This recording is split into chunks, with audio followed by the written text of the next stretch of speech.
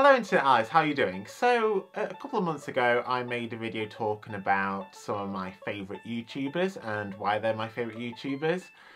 And today I kind of wanted to continue on that, like, so basically got your favourite YouTubers too. If your favourite YouTuber or if you're not in this video, you might be in the first video and I'll leave a link in the description and it'll be at the end of this video as well, bloody bloody blah. So yeah, here we go. So some more of my favourite YouTubers. So as with the last video, I'm going to start off by talking about a friend. So somebody I met last year, but I've kind of become quite good friends with this year he's got a YouTube channel, he's called Random Josh. So Random Josh he makes two videos a week, one on Mondays, which he likes to call Random Mondays, which is basically about just kind of anything and everything that he wants to talk about. And the videos he uploads on Fridays are makeup videos. I mean, I kind of do watch more of the Random Monday videos and the makeup videos to be honest because, yeah, I've never worn makeup in my life unless you count, you know, face paint at a school fair. But I suppose if I was to collab with him, like at one point, maybe I would end up like wearing makeup or something or maybe he would do my makeup or something for like the first time ever. Who knows? I don't know really. But yeah, you know, he's, he's a nice guy and he's almost at a thousand subscribers. So, you know, it'd be great if you could get to there soon. So now I'm going to go down this list the same way I went down the list of my favourite YouTubers in my first video and that was talking about some people who make YouTube videos that I've met at like conventions and stuff. So the first couple of people, well, the twins really, Niki and Sammy. I met them last year at Summer in the City and what they did was they were interviewing people asking about their opinions on K-pop music because they're big K-pop fans. I don't really know a great deal about K-pop, I'm not going to lie. I mean, BTS's new song is quite catchy, Dynamite. I do like that song actually, and I like Blackpink as well. Let's kill this love. to be fair, they were quite impressed that I knew Let's Kill This Love in the dance move. also this year, Niki he's come out as gay and he's been kind of using his platform to kind of talk about like LGBTQ plus awareness and acceptance and also about like coming out sort of like later on in life and kind of that experience of coming out later on in life. And even though he did come out probably a bit later than some other people you know it's still a very admirable thing that he's doing at the moment. So I really applaud that and you know he kind of talks about some of his family's reactions to that, including his twin brother. And yeah, they, Niki and Sammy, they make videos about, you know, basically their relationship as twins and whatnot and some like twin challenges and stuff. So yeah, it's really nice. They're really nice. So I didn't technically meet her at Summer City, but I kind of attended some panels that she was part of and that was Tessa Netting. Now Tessa Netting, she is basically a huge Harry Potter fanatic. She recently turned 30 actually, so happy 30th birthday Tessa, if you're watching.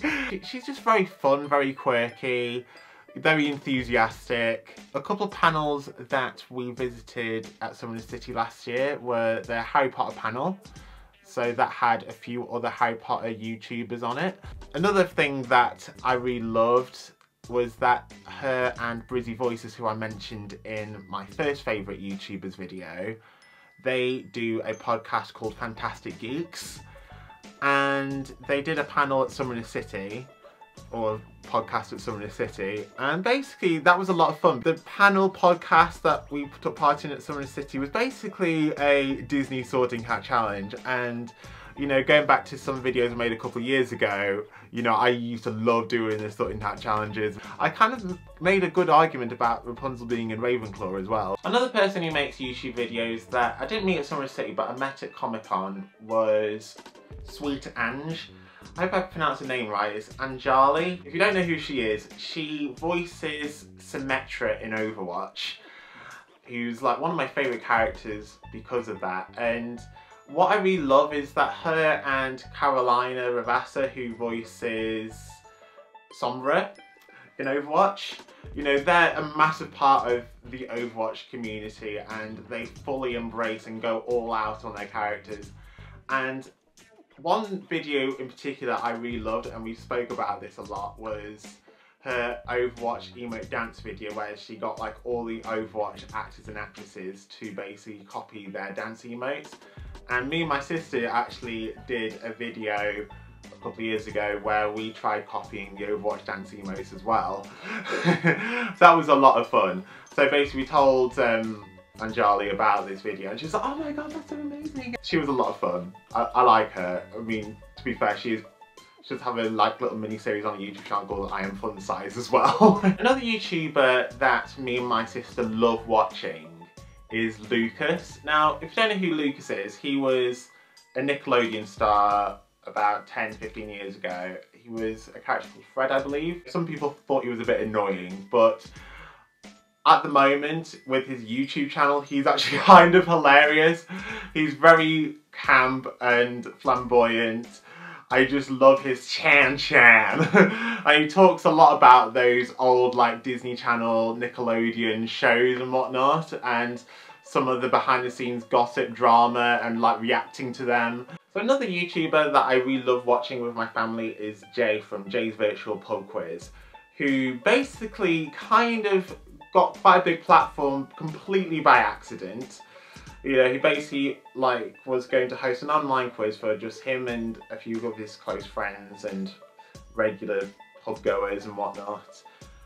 But he ended up kind of setting the Facebook invite to public so basically now he's got a huge audience. It is like very fun just kind of tuning in like every week to basically take part in these quizzes and me and my family do quite well at the quizzes as well. It's something for us all to look forward to every week and you know he's come up with like a few of his like token like catchphrases such as like Jebberal Knowledge which is basically like a typo from the first week. It's a lot of fun and he was just doing that just to kind of entertain people during you know, this year, the pandemic, the lockdown period, and he's continued to do so since then.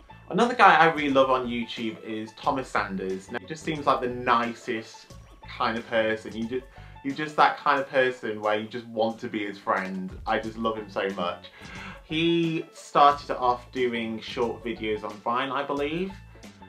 And basically they're just like short little comedy sketches, sketch videos and whatnot. And yeah, they're, they're like a lot of fun and sometimes he will do like compilations of short videos and upload them onto YouTube. He, he now posts those kind of things on like TikTok now.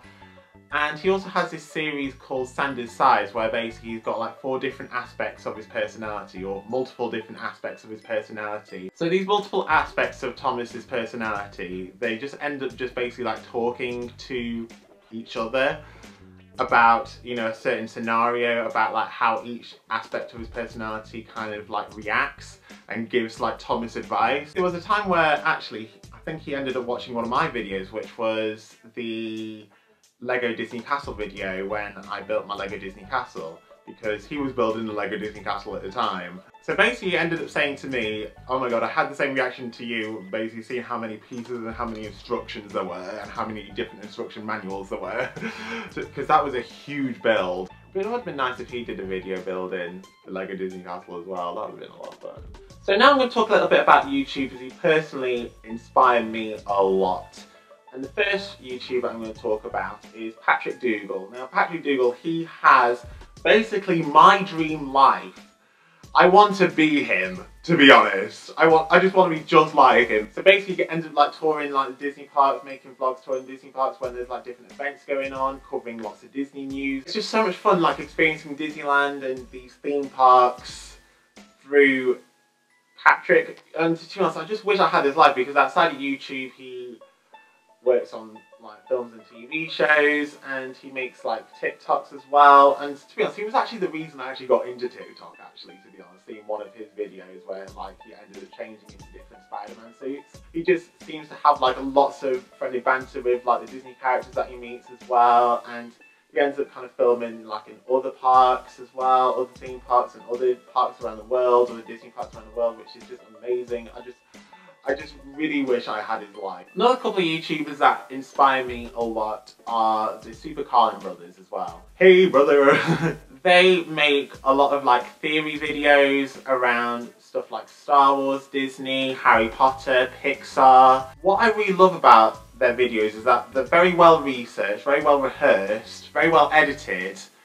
And what I really love most though is their enthusiasm for these things that they're interested in. I just love their enthusiasm, it's just so infectious. Just hearing somebody just light up when they talk about the things they're passionate about, I just find super inspiring and just super uplifting. I really try my hardest to come across that way in my videos, in my personal life, just really with anything I do, you know, because that's just kind of the person I want to be. And hopefully I do come across that way in my videos. If I don't, then I will try to be a bit more enthusiastic and give a bit more oomph into my videos, you know? And the final guy who inspires me as a filmmaker, as a YouTuber, his name's Nathaniel Drew. Now Nathaniel Drew, he gives life advice videos, but what I really like is that he's got a very like calming voice, a very calming aesthetic. He also travels a lot. You get to see like a lot of beautiful places that he visits or lives in for a while.